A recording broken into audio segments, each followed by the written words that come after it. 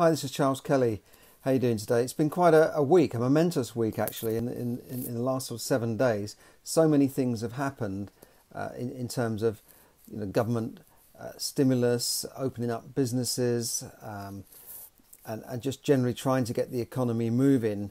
Last weekend, we saw pubs starting to reopen on, on, on the Saturday, and other businesses like hairdressers, but not beauty salons, nail bars, and that sort of thing, which didn't make sense. In fact, uh, a Conservative MP stood up in Parliament, and her name escapes me, but she said it was a little bit sexist. That the it, it shows that the people running things are all men. That they didn't appreciate that you know uh, they might need a haircut, but a lot of uh, people need other things, and, and they're not taking into account things like nails and beauty treatments and pedicures and that sort of thing. So, however, uh, this week, uh, the Culture Secretary Oliver Dowden stood up and said that these businesses would start to be reopened soon.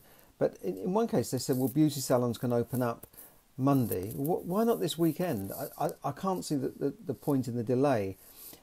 Yes, they might need time to adapt to the new rules, but that's their problem. It's not the government's problem. So I, I can't see why they allow pubs to open on a, on a Saturday, which caused a bit of a rush actually, uh, but the, the, beauty salons and other businesses, they, they leave it till Monday the 13th. Uh, so I'll, I'll go into those other things in a little bit more detail, but yeah, the UK economy is starting to open up slowly. It's like pulling teeth. You know, some businesses may not even be open up until the end of the month and this sort of thing.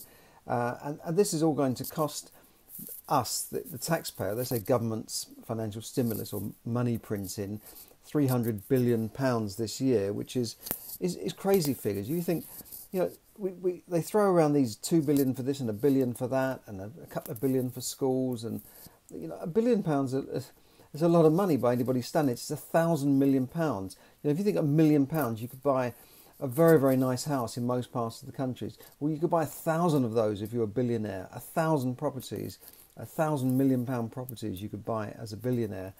And you know, if you think there's not that many billionaires in the world, you know, I, read a figure of five or six hundred billionaires, but that was years ago.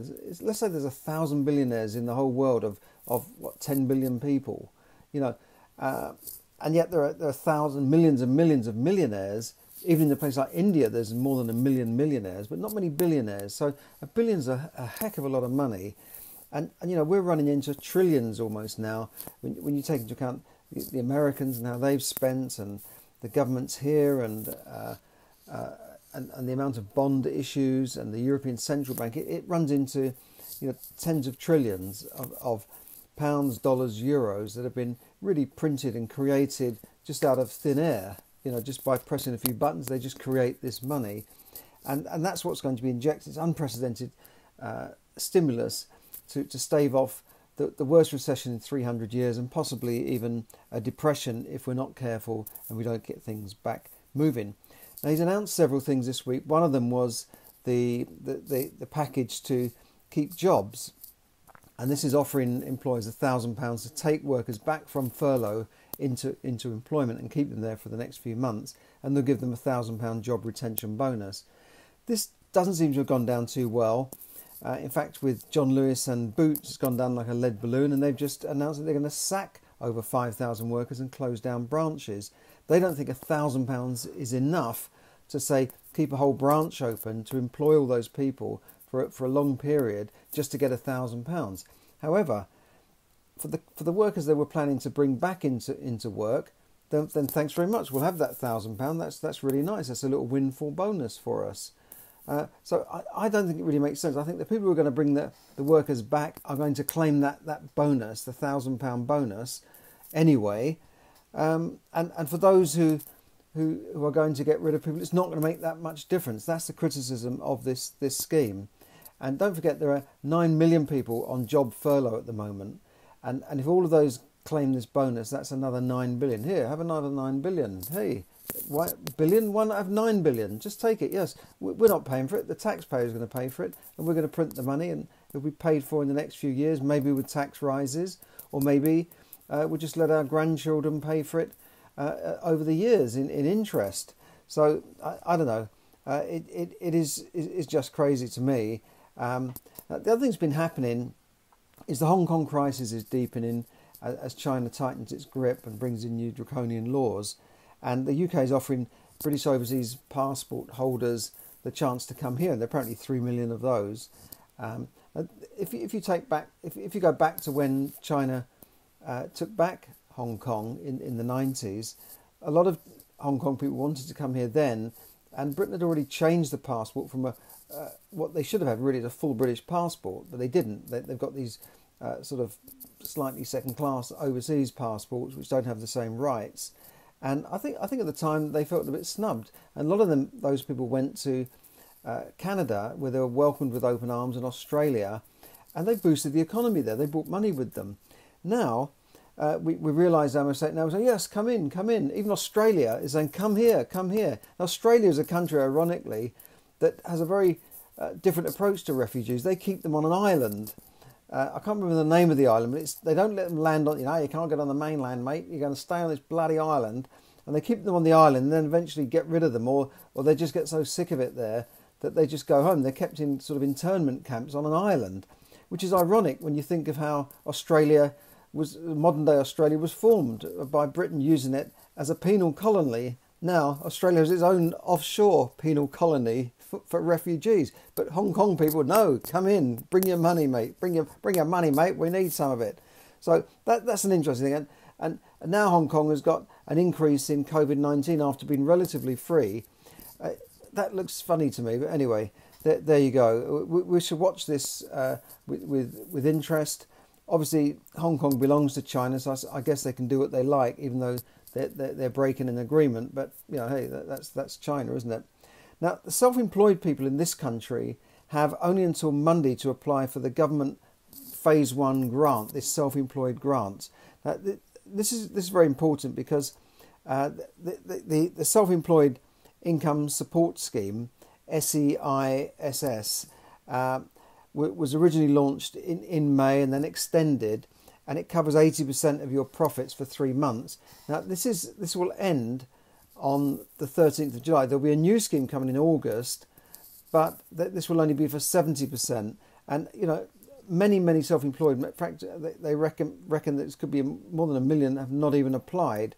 Um, some have applied and not got through, but have a look at that. I'll put I'll put a link up here to to go for that. Um, and it's if you're eligible, your business has been adversely affected by COVID 19. Well, that's everybody, really, isn't it? I mean, it's hardly anybody apart from maybe Jeff Bezos that hasn't been as adversely affected. Now, the scheme has been extended. If you're eligible for the second and final grant and your business has been adversely affected after the 14th of July, you'll be able to apply for this new grant. But the first one, you, really need to, to get your skates on this weekend and apply for that. Uh, so, so self-employed, you've had, you've heard it here you, that you're on a warning now to try and apply for that if you haven't already done so. Now, other things have been happening this week. Travellers from dozens of uh, UK countries into the UK will no longer need to self-isolate. I won't go through the whole list here. Rules have been relaxed for, for arrivals from more than 70 countries and British overseas territories. Beauty salons and open air gyms will be allowed to reopen from next week open air gyms. Have you seen the weather this week? This is this is the UK. It's not LA. We don't go around on the beach, Muscle Beach. You know, this is the this is the UK. Who goes to open air gyms? I think what they mean is maybe the gym will set up the machines in the car park. But come on, you know, let's just let the gyms open. Um, and, and then apparently they're bringing in, uh, they're, they're imposing rules like you must have 100 square foot per person in the gyms. I don't know. I think with gyms it's a bit different because people are paying monthly memberships whether they they're there or not. So I suppose the gyms can afford to to limit the amount of people who go in there. Um, I think unless the machines are really sprayed down after everyone's used them, it's it's a bit nerve wracking to go back into a gym with, with a lot of sweaty guys uh, coughing and spluttering everywhere. Uh, I, am not so sure. But some of the beauty salons will be allowed to open. Um, there's the Eat Out to Help Out or Meal Deal scheme, as it's been dubbed. This is where in August, if you go out and have a meal, you can get a 50% discount up to £10 per person. Uh, the big news on properties that stamp duty has been slashed. I'm sure you've heard this already. This means that it, it will not be charged uh, on the first 500,000. That's a massive uh, boost to home buyers. It can save them, you know, 10, 15,000 pounds on, on a typical purchase in the southeast. Uh, it, it's great that, that it will stimulate the property market.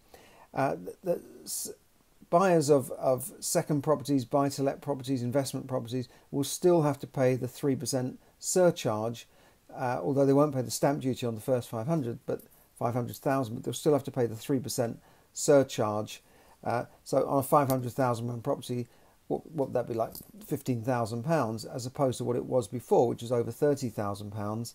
And I know I've paid that amount, which is an obscene amount of tax, really, for anybody to pay uh, to, to, buy a property, which which means that effectively they're rowing their own boat. They're saying, look, we're not going to depend on the state.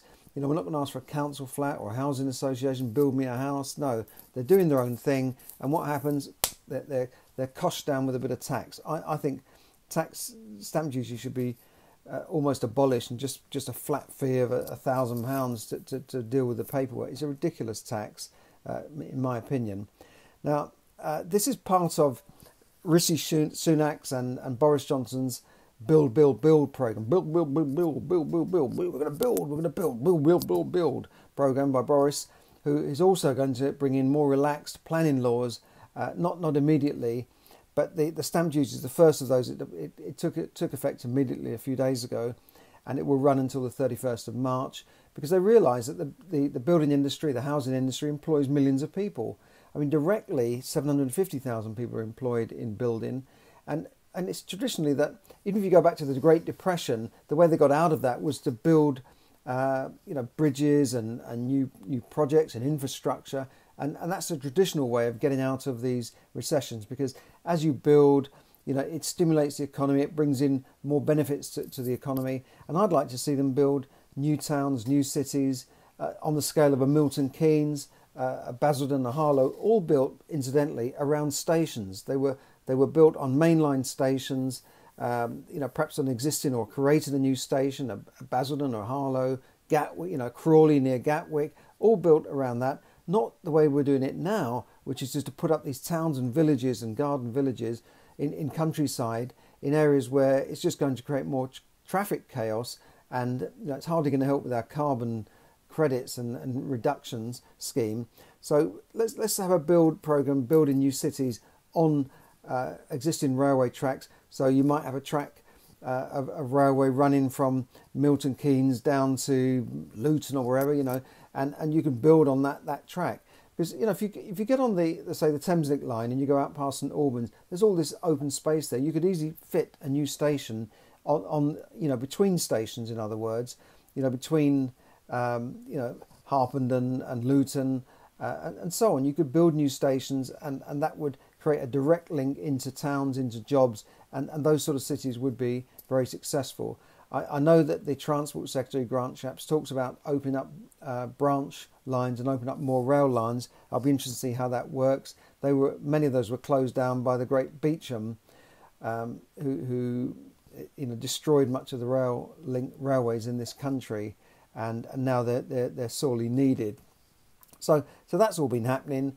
Uh, the new plans and, and for, for, the new planning rules that will hopefully liberalise planning a bit more and, and bring in more of the kind of uh, permitted development type of rights for, for more properties will be a good thing for property developers, small developers who can make money from you know buy, refurbish and refinance type of deals, and and the stamp duty will also help you sell on properties, even if you you know you're not actually able to benefit from that, that reduction completely as a, as a buyer, but you, your, your buyers will be able to uh, benefit from that, and that, that, that, that will be, I think, good news. Uh, so we'll, we'll see more of that, and hopefully that will stimulate the market.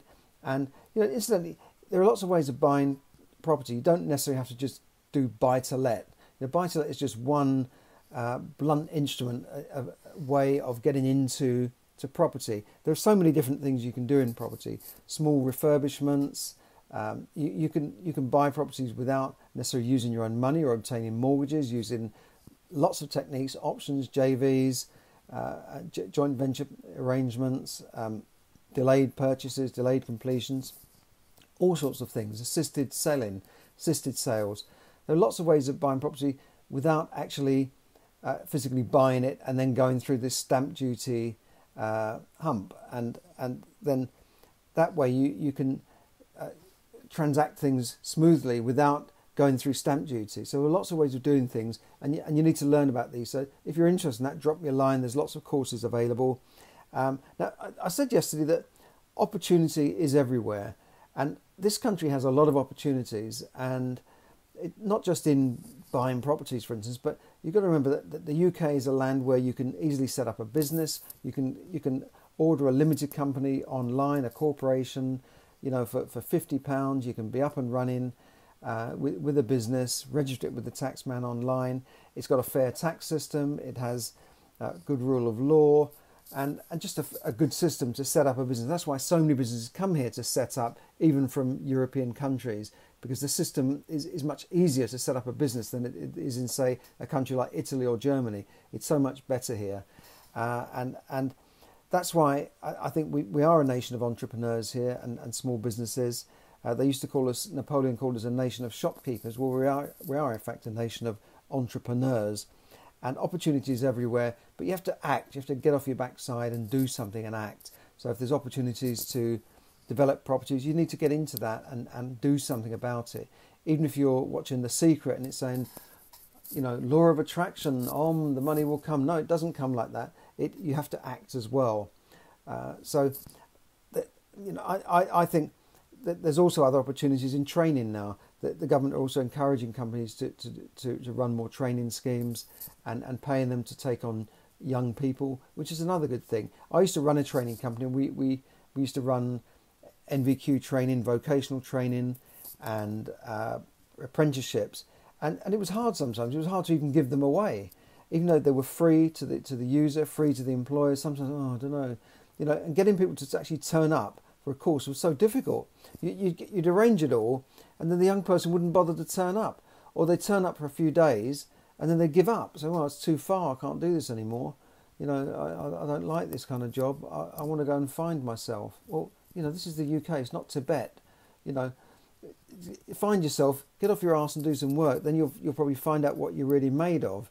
Yeah, it's all right saying, yeah, I want to be a film director in Hollywood, but until you, you can get there, you need to earn some money. You need to do some work. So I think you know, for people here who sometimes say there's no opportunity, there's no opportunity. Of course, there's opportunity. There's loads of opportunities here. That's why people are trying to get here on the back of a lorry or by any means possible, or crossing the channel on a raft to get just to get here because they know there's opportunities here. Now, I know what people are saying. Well, they're only coming here for benefits. No, they're coming here to work. They're coming here to build a better life for themselves. In the main, I, I, I really do believe that because I've seen it myself. I've employed a lot of migrants. I help people to come here as students. I help people to come here and get work permits as nurses and care workers. And I saw how they worked hard and got on, and they always grabbed every course that was going. So there is opportunity here, and, and I think you should do. Other things that are happening, they've announced a, a £5,000 energy saving home improvement scheme to insulate your home, or £10,000 for the lower paid. Um, and that would be a good thing to get perhaps 100,000 people back to work and, and save on energy spend as well.